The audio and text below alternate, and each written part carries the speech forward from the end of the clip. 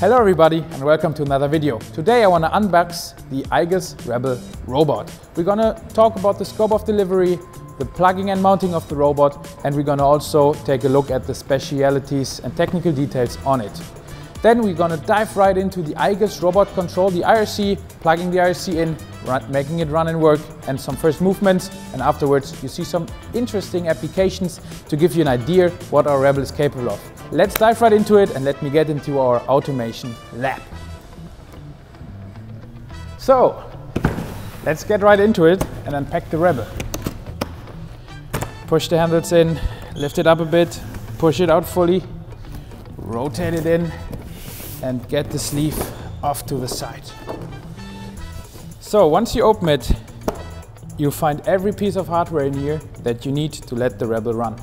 First, some documentation, a little uh, quick startup sheet, which we will look into later. You got your power supply, power supply module, including all the cables you need, and another sticker, and of course, you got the robot itself. You see, easy to handle, lightweight. We can put that aside for now, and what you in addition get as well is the emergency stop button with the cable and everything else.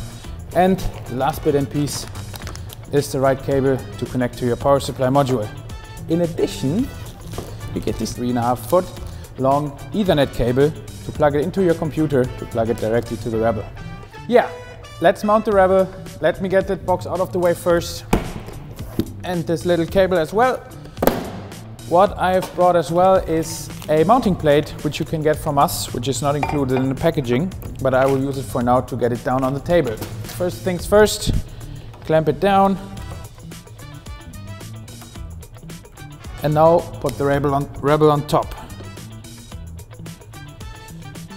We deliver in a full scope, so you get six screws with it as well. I will use an Allen key to screw it down. It's M6 screws, so I need a size 5. Let me quickly get that in.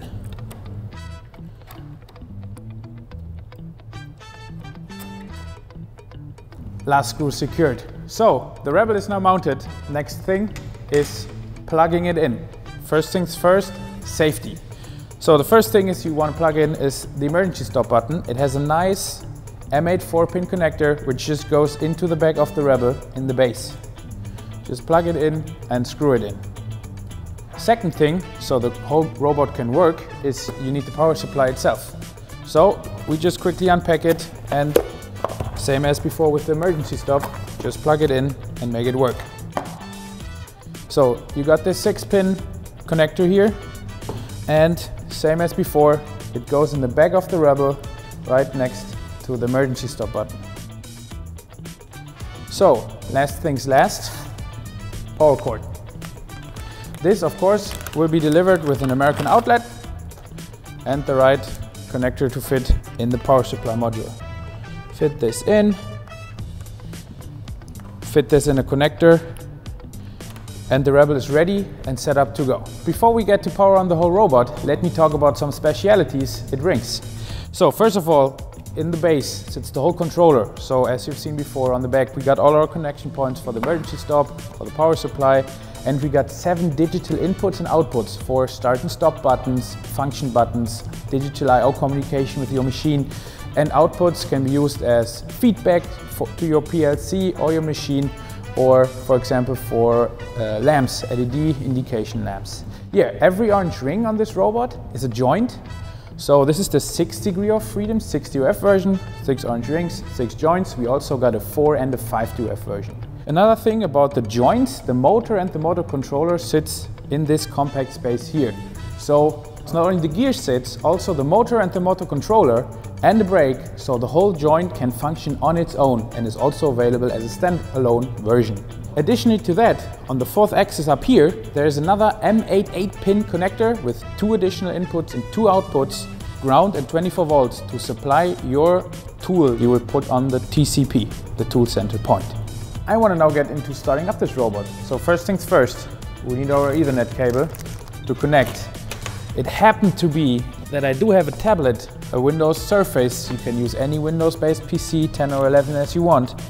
and we power this robot up. On the back of the robot again, we have Ethernet port. You just plug it in and then plug it in the Ethernet port of your computer. There's robot control, which is used to control the Rebel, also has a Wi-Fi functionality, but for the first initial start, you need an Ethernet connection. Okay, once that's set, we can press the start button on the back and the robot powers on. So first you will hear a little click, um, you will hear a little vent going on, and once we have the robot running and starting, after it's finished booting, pretty quick, 10-20 seconds, um, we are good to go. We're now connected and the robot is in the perfect state. It says e-stop, so everything is red. The robot can't run because we now need to initially start it. So first thing is undo the e-stop button. Hear a little click once that happens. Then press the reset button. You hear another click. And once you press start, or you press enable, you hear multiple clicks because all the brakes in the different joints will release and the robot will have its first initial alignment of the rotors in the joints. Referencing sequence is done. You see that here in the picture. Now it's referenced. You hit reset again. You hear you hit enable again. You hear click again, and now the robot is good and can run. So I will just hover over the fifth axis over here, up here in the software, to just test a little if the robot moves as the software does behave. And if you're wondering how I'm doing it, I'm hovering over the joint, it gets marked, pressing the left mouse button, dragging it down. You could also go to jogging and play here with these buttons if you prefer so. So first of all, I want to make sure I start with the smallest joint that can't really harm me. Maybe you can also use axis 6, but this is kind of hard for me right now to see. So I will use my hands on top of it and it rotates as well. I just want to make sure every joint is functioning. Do the same with joint 4 and I also make sure visually the simulation is the same as the real one, which it does. Okay, these function. Now I go to axis 3, try to relocate the axis 3. I do the same with 2, which works perfectly. And I do the same with axis 1, which works. Great. Now that we know that all the joints are running, let us just program some small movements. You press on edit. Then the program editor opens up and what we can do with the right mouse button, you can move the robot over to the left and what we then can do is just pr press on action, press on joint motion and the actual positions of the robot will be copied in this movement position. So what I will do now, I will just move the robot over here, I will move this axis a bit, move this further down, try to move the fourth axis, let me just quickly rotate. Oh, no, not reset. Don't click that. Let me press rotate pretty quick so I can have a better view on the robot arm. And just move this axis down a bit. I press now J on the keyboard to implement the joint movement so I don't have to click on action and joint motion. And let me just do a third movement, maybe just realign the sixth axis a bit and then give it a little rotate to the left. Press J again. Now we're good. I saved this program and I name that Rebel Test. Press enter and it automatically loaded in. If it's not loaded, you press on load, select the program you want to load, which is this, we just did it, press open and you're good to go. So now if I press play, the robot moves to the designated positions and this little white dot here, maybe it's a black dot with you, indicates where the robot will move next.